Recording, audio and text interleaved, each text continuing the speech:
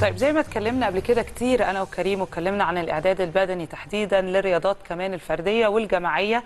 ومش حاجة أكيد سهلة ومش حاجة بتتم بشكل عشوائي أو مفروض إن هي ما تتمش يعني بشكل عشوائي.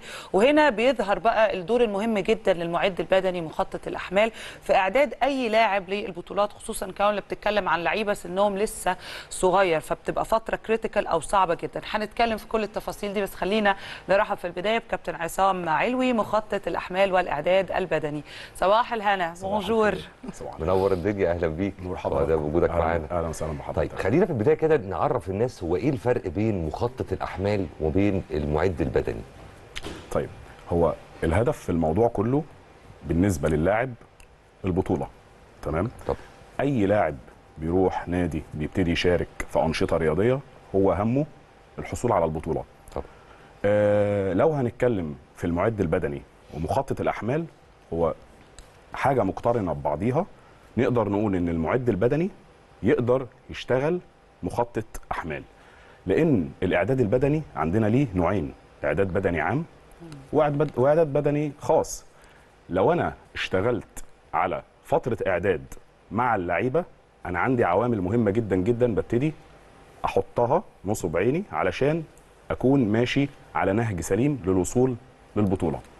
طيب أول شيء الإعداد البدني العام ده في أي رياضة سواء رياضة فردية أو رياضة جماعية. اللاعب بيجي آه، في الأول خالص في البدايات بيبقى من المفترض إن أنا أهله إنه يبقى عنده قدرة على ممارسة النشاط قدرة على ممارسة الحركة. وبشوف طبعا إيه نوع اللعبة اللي أنا هشتغل عليها. يعني لعبة عن لعبة أكيد في فروق. طب الألعاب الفردية ليها فروق عن الألعاب الجماعية الألعاب القتالية أكيد. ليها فروق طبعا. عن الألعاب الغير قتالية طيب أنا بعتبر إن أهم عنصر في الجهاز الإداري أو الجهاز الفني هو مخطط الأحمال أو المعد البدني اللي هو أنا قلت من شوية مقترن ببعض أو مقترن بشغل بعض بشكل كبير جدا جدا أنت قلت جدا. إن المعد البدني ممكن يعمل كم- كمخطط للأحمال لكن واضح من كلامك إن العكس مش صحيح.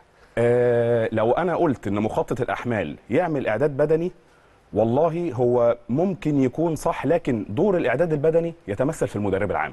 أوكي. المدرب. يعني أنا كمدرب مثلا بشتغل على فريق سواء رياضة جماعية أو رياضة فردية خلاص أنا لازم يكون عندي الملكة إن أنا أعمل إعداد بدني عام.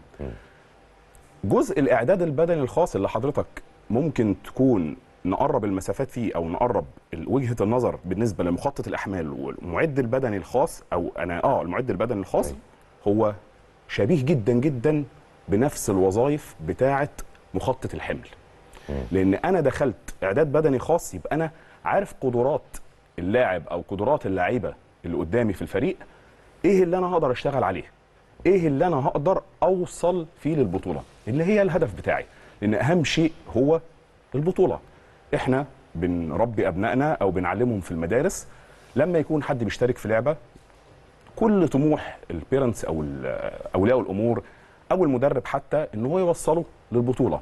طيب أنا قلت من شوية إنه أهم عنصر هو مخطط الحمل أو المعد البدني الخاص اللي هو هيأهلني لإن أنا أخوض البطولة بشكل قوي. لأن النهارده على مستوى الرياضات كلها سواء فردية أو جماعية لو بصينا لتقنين الحمل أو مسببات كسب البطولات بص حضرتك على مخطط الأحمال.